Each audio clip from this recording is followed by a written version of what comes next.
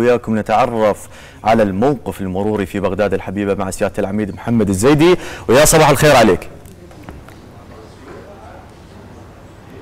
شكرا صباح الأنوار حيدر. صباح الخير عليك صباح الخير على كل مشاهدينا في يوم خميس. يا رب بخير وسعادة وبركة. weekend نهاية أسبوع لكل العراقيين إن شاء الله. نعم نرى بأنه نهاية الأسبوع تكون شوي الشوارع يعني خفيفة نوعا ما وما بها ازدحامات. خلينا نتعرف على الموقف المروري في بغداد الحبيبة وأيضا هناك بعض الأسئلة توجه إلى دائرة المرور العام نعم شكرا مرة أخرى نحييكم ونحيي كل المشاهدين. صحيح دائما نهاية الأسبوع آه، يعني حركة خفيفة لكن لازم أتطرق إلى آه، يعني نقطتين مهمة حيدر اليوم صعدت آه، وزارة المالية أكو أعمال بصراحة. فأكو تحويل سير. أنا ما أسمي قطع لانهم الإخوان وعدونا بال11 يمكن يكون فتح لهذا الطريق. اذا حتى لا يتفاجئ السائق اليوم بالبيت يطلع يجي محافظات صعدت المالية أكو أعمال فتخلص خلال ساعة.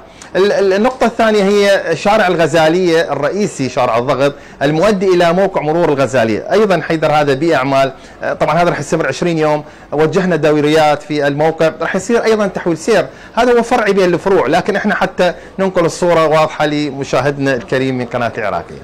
انتقل إلى الموقف الصباحي أكيد الكاميرات. يعني اليوم الموقف جيد تقاطع من حيان. دائما أني أسميه المعبر الرئيسي من ساحة الدلال إلى تقاطع من حيان إلى السير القادم من اسكان السير النازل مطار المثنى. الموقف جيد بالوقت الحاضر يعني آه، خلال هذه ال- الوقت هذا. التقاطع الشالشية حيدر الموقف جيد. لكن دائما أنا أقول أنه هذه السكة اللي تخفف السير بها السيارات أكو مطب أكو طسة تحتاج لكن السير باتجاه براثة والسير جهة مطار مثنى الموقف جدا اعتيادي. أيضا آه، يعني يمكن ساحة الطلايع آه، عفوا الفارس العربي الموقف جيد يعني السير اللي باتجاه الزوراء السير اللي جاء من المحكمة. أكو كثافة تصير تشتيت السير باتجاه الزيتون تعرف زيتون direct يطلع باتجاه ساحة النسور.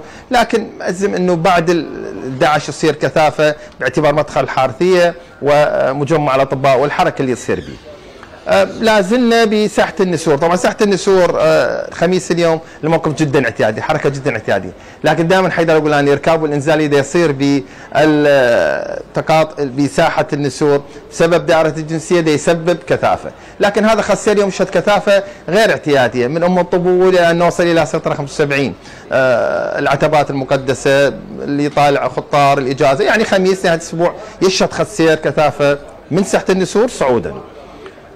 ساحة عدن دائما أقول اني يمكن أكبر ساحة في آه، الكار يعني مدينة سياحية تجارية الكاظمية فده تصير كثافة. المدخل فارغ لكن التجمع والتجمد يصير سبب وقوف الكيات. وإحنا نقول دائما يا إخواني أرجوكم هذه الكيات على حركة المرور نعم يطلعها رجل مرور لكن بعد يمكن نصف ساعة يرجعون وتصير آه، حركة. لكن هي عموما كخميس.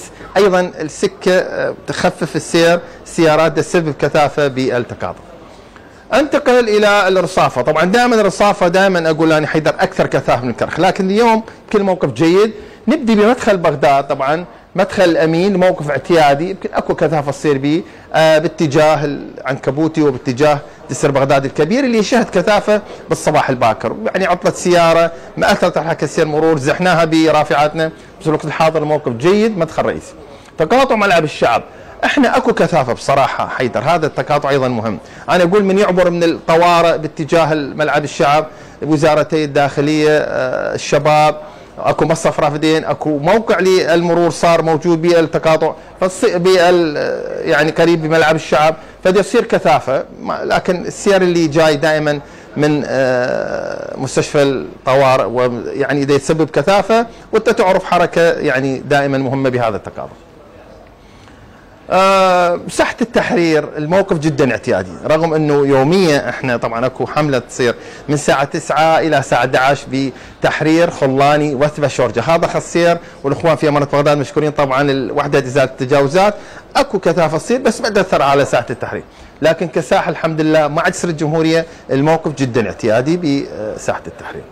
أيضا آه، يعني آه، تقاطع ساحة كهرمانة اليوم الموقف جيد. يعني يمكن الداخل والخارج بس السير اللي قادم دائما إحنا نقول من ال- بدات العلوية يشهد كثافة آه، نرجع إلى آه، تقاطع المسبح كثافة نرجع إلى تقاطع الوكالة. يعني هذا خط السير دائما يشهد كثافة لأنه يشتت السير من عقبة بس من يوصل إلى آه، يعني كرادة داخل وخارج يصير الموقف جدا اعتيادي. آخر تقاطع يعني اليوم آه، بالمناسبة أنا هذا التقاطع هو مهم لأنه هذا الأعمال منا آه، حيدر. هذا يمينا الصعدة هذه مسدودة إخواني باتجاه الجامعة المستنصرية. يعني اليوم هذا يمكن آخر تقاطع حتى نشرح عليه اليوم حيدر. هذه الأعمال اليوم أثرت على السير اللي قادم من آه، يعني هو بعد هذا صعدت وزارة المالية على اليمين فالسير تقريبا يعني آه، بطيء بهذا المكان. لكن أنا يعني أوجه نداء الاخوان الموجودين بالوقت الحاضر الأمانة ودوريات المرور يمكن بعد ساعة يمكن أعتقد بال11 تقريبا راح ينفتح الطريق. لكن حتى ننقل الصورة إحنا لمشاهدنا الكريم إخواني ترى أكو صعدة بها أعمال وكثافة خلينا دوريات ودراجات ورافعات على طول السير. لكن إحنا تعرف آه، من يصير قطع حتما تصير كثافه وبطء سير بس بال11 السير إن شاء الله يصير آه، اعتيادي. إحنا نتحمل هذا الازدحام حتى يكون الصعدة لأنه مهمة جدا صار بها تكسرات ويعني أعمال إخواني يعرفون أمانة بغداد. مرة أخرى أكيد حيدر يا رب بنهاية أسبوع سعيد نعم. لكل مشاهدينا. وإحنا أكيد نحتاج تعاون أمارة بغداد عمليات بغداد كل ذات العلاقة حتى يكون سير آمن. نعم, نعم سيادة العميد يعني شكرا لأنه عرفنا على الموقف المرور لكن هناك تساؤلات كثيرة وتعرف بانه الكثير من المواطنين بأنه دائما ما يتابع الصفحات وأغلب هذه الصفحات هي تكون مو حقيقية. فلذلك صار لغط على قضية الهزه الخاصة بالسيارة. أكيد. البعض قال بأنه توفرت البعض القال بانها نعم. وغيرها من الأشياء الأخرى. آخر استحداثاته بخصوص هذه العملية الجديدة. نعم. يعني قرار جدا راقي هو أنا أعتبره اليوم وبمصاف الدول يمكن الجوار والمتقدمة وإقليم كردستان. هذا هو الفحص الإلكتروني اليوم.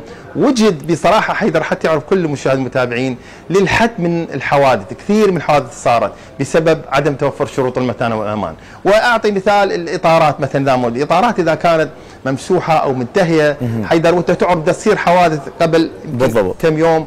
خسرنا 15 عراقي مع الأسف بسبب انفجار الإطار و آه، يعني تروح إلى اللين الآخر ويصير التصادم آه، يعني قصة بقصه إحنا نسميها، لذلك اليوم واحدة من هذه الشروط مثلا هي الإطارات والمحرك والدبلات وكل ما يتعلق بشروط ومتانة السيارة.